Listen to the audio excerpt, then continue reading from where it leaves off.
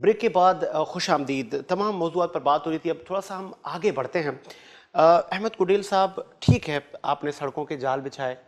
बहुत जगहों पर मोटरवेज आपने दी। बहुत सारी आपने ऑरेंज लाइन मंसूबा अगर हम देखें अप्रिशिएट करते हैं इन चीज़ों को। लेकिन जब इकतदार आपके हाथ से गया और इकतदार की मुंतकली हुई तो क्या ही अच्छा होता कि ओपोजिशन की जमातें इस हुकूमत के साथ शाना बशाना साथ चलती ताकि ये मुल्क तरक्की करता। सर आज आप मोटर मोटरवे देख लें तेरह घंटे में लाहौर पहुँचते हैं। हम्म, और इन ताला नवाज़ शरीफ साहब की दोबारा हुकूमत आ गई तो हैदराबाद सखर मोटरवे भी बनेगा। सिर्फ़ इतना सा टुकड़ा रह गया बाकी पा, पूरे पाकिस्तान में मोटरवे है। तेरह घंटे में आप लाहौर पहुँचते और बाइज्जत ना कोई थकावट ना कुछ नहीं। मोटरवे सी पैक आप हिस्सा भी नहीं गई है। मोटरवे आप देख लें बनाया आज तक इन्होंने क्या बनाया? अच्छा ये कहते हैं हॉस्पिटल बनाया और ये कहते हैं चलो इन्होंने मोटरवे पे इतना कर दिया। इन्होंने कुछ बनाया ना भी तो कुछ नहीं एक सड़क तक तो नहीं बनी। आप भी रहते हैं ना ये पाकिस्तान में ही रहते हैं वज़ीर आज़म ने स्पेशल फंड दिए हैं अपने एम को सर मुझे एक के। एम का एक काम बता दें चले। चलें बता दें। नहीं सर कौन बहुत सा सारी काम कहाँ बना मतलब अपनी कॉन्स्टिट्यूंसी में रोड सड़कें वगैरह तो वो बनाने में लगे सर कहाँ? आप पिछले उठा के देखे ना। हम्म। आप देखे ना। उठा के देखे सारे रोडों की हालत देख ले। तो सिंध हुकूमत भी यही कह रही है आप भी यही कह रहे हैं तो एक आईनी हुकूमत को शायद आप चलने नहीं दे रहे कहीं ये वजह तो नहीं है कि आप आप ओपोजिशन की जमातें चाह ही नहीं रही कि ये हुकूमत अपना आईनी मुद्दा पूरा करे। सर कहाँ से कहाँ से ये मुद्दत पूरा करेगी? हम्म। आप महँगाई फिर आपने यही बात फिर आप मुझे दोहरा रहे हैं। हम्म। इनके हालात तो देखें। मासूमाना सवाल करूँ कि पीएमएल की हुकूमत से कोई गलती कोई कोताही हुई कि 2018 में आपको मैंडेट नहीं मिला? मैंडेट अच्छा मिला। कहीं मॉडल टाउन आने की वजह से? नहीं मैंडेट अच्छा मिला है हमें। नहीं बहुत सारी जगहों से तो आप लोग हार गए और पीएमएल एन हार गई और पाकिस्तान तहरीक इंसाफ की हुकूमत बन गई। लोगों ने इनको आजमाया इनकी हालत देख ले। आज लोग रो रहे लोगों ने इनको आजमाया ना। आज रो रहे हैं लोग। लेकिन मुमकिन है दोबारा पाकिस्तान तहरीक इंसाफ को यही आवाम वोट दे। सर दसका का इलेक्शन देख लेना रिज़ल्ट देख लेना ठीक है। तहरीक इंसाफ के घर से एक सीट ली ना। हम्म इमरान साहब पहुँचे फटाफट पिशावर। हम्म। वहाँ से भी तो सीट ली ना। हम्म। ये भी सीट है। हम्म दोबारा डिपोलिंग करवा ले कोई मसला थोड़ी है। चलें जैसे कि एक ये भी इल्ज़ाम आप पर आता है कि आपके रहनुमा केसेस को फेस नहीं करते। जैसे सबक वजी अजम नवाज़ शरीफ सर किसको फेस नहीं करते? आपने जो हमारे शहबाज शरीफ साहब है उनको जेल में हर पेशी पे जाते हैं। कहाँ इसाक डार साहब नहीं आए। इसाक डार साहब वो भी आएँगे।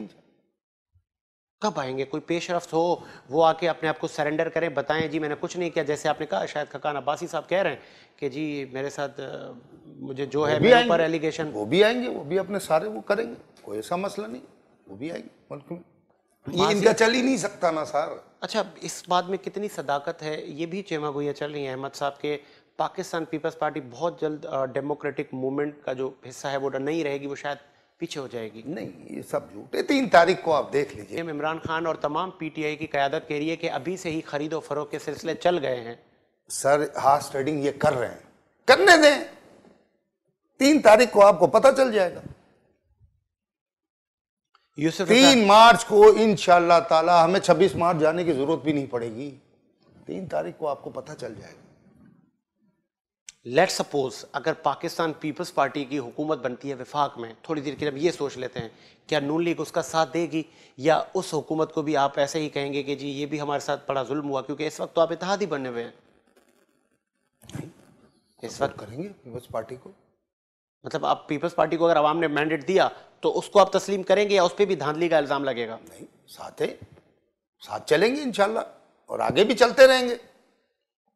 कहीं ऐसा तो नहीं है वज़ीर आज़म इमरान खान जमहूरियत नवाज़ शरीफ और मोहतरमा साहिबा ने किया था और इन दोनों की बहुत अच्छी है और चलेगी आगे।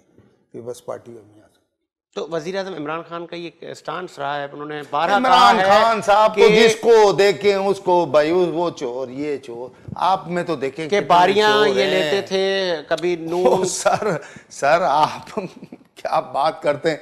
इमरान साहब तो जिसको देखे वो वो चोर है शेख साहब जिसको देखे वो चोर है। अरे भाई आप अपने तो देखें। स्मार्ट लॉकडाउन की पॉलिसी वफाकी हुकूमत ले आई ताकि लोग भूख से भी ना मरें कोविड से भी ना हमने मरें। भी ताउन किए पूरा ताउन किए।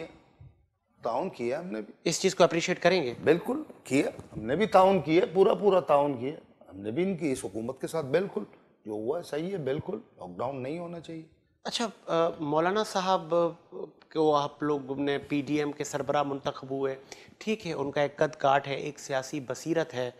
उन पे भी इल्ज़ाम है कि वो मासूम बच्चे शायद लेकर आएँगे मदरसों नहीं नहीं नहीं नहीं नहीं। और शायद मौलाना साहब का जो ये अभी आखिरी जलसा हुआ है जिसमें मैं भी था मैं था शायद खाकान साहब थे मिफ्ता साहब थे ये कौन सी तारीख को हुआ था इसराइल के अगेंस्ट में।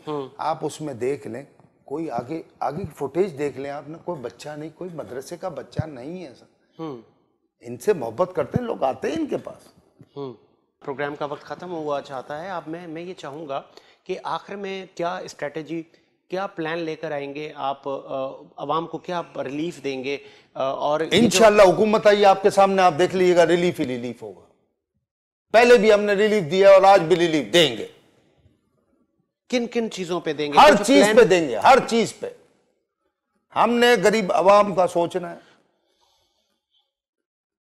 हमें महल नहीं बनाने गरीब आवाम को सोचना है इनको रिलीफ मिलना चाहिए। मियाँ साहब का एक ही मिशन है गरीब को रिलीफ ये है तो वोट को इज़्ज़त दो। ये है तो हम हैं। आपके जलसों में आवाम पूरी नहीं आ पाती इस तरह के भी इल्ज़ाम सर नहीं ये तो झूठ है। सर झूठ है सर सब झूठ है कि ये यहाँ से आवाम नहीं आती। प्रोग्राम का वक्त भी अख्ताम की तरफ़ है। तमाम ही मौजूद पर बात की पाकिस्तान मुस्लिम लीग नून बहुत ही मुतमईन है कि सेनेट इलेक्शन में हम सरप्राइज़ करेंगे। इसी उम्मीद के साथ कि मेरा मुल्क शादो आबाद रहे। साजिद हुसैन को इजाज़त दीजिए। मुलाकात होगी एक नए प्रोग्राम के साथ। अल्लाह हाफिज़।